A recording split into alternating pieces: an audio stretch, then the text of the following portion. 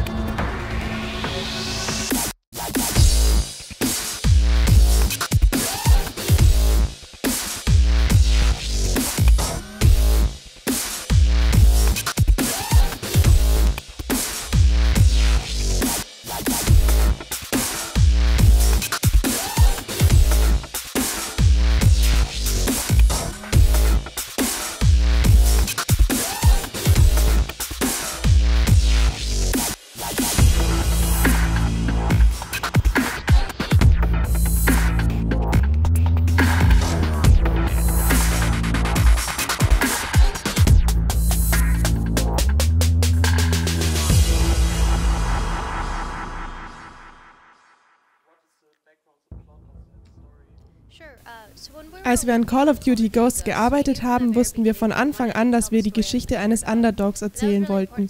Und das war uns sehr wichtig, weil du in allen vorherigen Call of Duty Spielen immer die Supermacht warst, die alle Waffen und Gadgets hatte, um den Krieg zu gewinnen.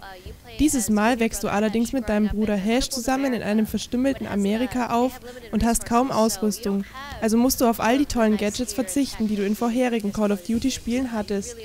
Du kämpfst wirklich ums Überleben und das ist es auch, was so cool an unserer Geschichte ist. Wir hatten dabei Hilfe von Steven Soderbergh, einem Autor, der für Traffic sogar den Oscar gewonnen hat. Er hatte bei uns ein eigenes Büro und arbeitete für sehr lange Zeit mit uns. Es war echt cool, weil er einfach mit uns arbeitete, als wäre das keine große Sache. Er hat uns geholfen, diese Geschichte zu erschaffen. Also, während du und dein Bruder im Widerstand kämpfen, trefft ihr auf die Ghosts, die eigentlich für eine Legende gehalten werden, weil niemand ihre Identität kennt. Die Brüder haben aber von ihnen gehört, weil der Feind Angst vor ihnen hat. Letztendlich kämpfen sie an der Seite der Ghosts und das ist eine echt coole Geschichte.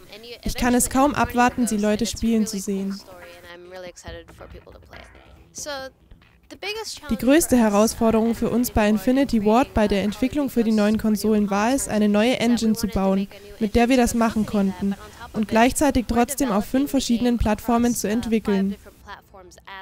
Wir entwickeln gleichzeitig für PS3, PS4, Xbox 360, Xbox One und PC, anstatt eine Lead-Plattform zu haben.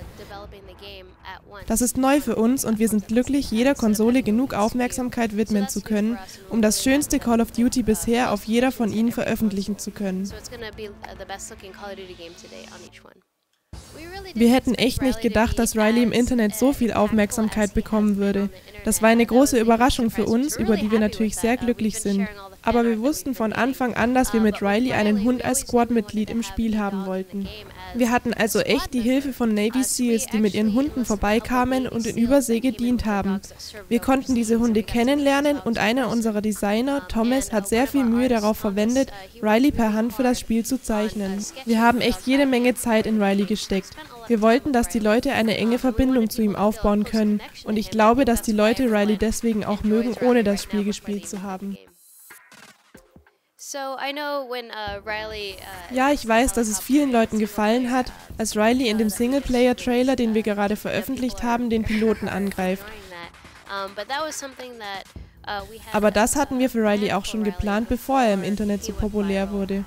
Das ist einfach ein abgedrehtes Phänomen, das mittlerweile so weit ist, dass wir echt gespannt sind, wie die Leute mit Riley im Multiplayer spielen.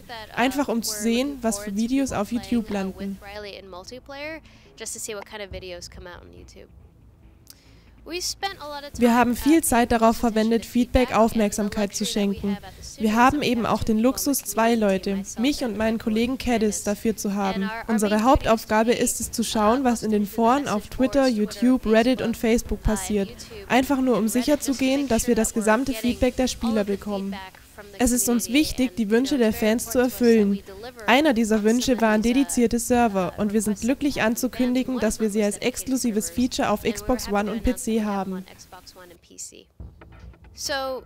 Als Frau bei Infinity Ward bin ich natürlich glücklich, Frauen im Spiel zu haben und allgemein denke ich, dass wir alle stolz sind, dass Infinity Ward Frauen endlich in den Multiplayer bringt. Es hat einfach Sinn gemacht, weil wir jetzt auch erlauben, die Soldaten individuell zu gestalten. Da lag es einfach nahe, auch weibliche Charaktere zu erlauben.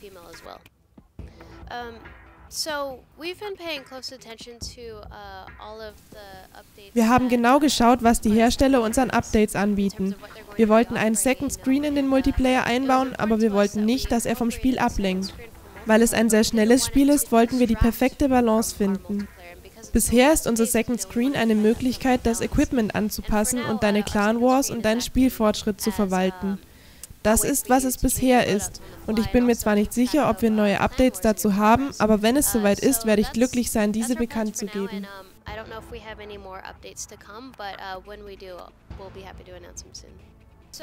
Unsere guten Freunde bei Treyarch arbeiten an der Wii U-Version von Call of Duty Ghosts. Ich weiß, dass sie der Hardware und deren Möglichkeiten viel Aufmerksamkeit widmen.